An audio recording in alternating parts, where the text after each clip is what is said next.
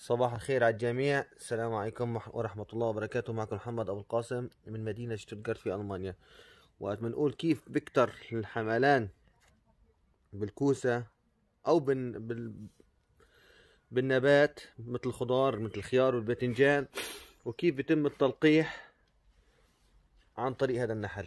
مثل ما أنتم شايفين بنتقل من زهرة لزهرة وبنقل معه التلقيح أو غبار الطلع.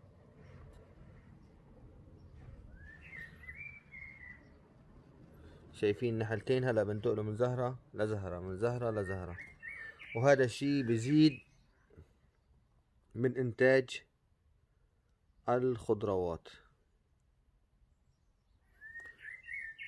ما شاء الله اللهم صل على سيدنا محمد.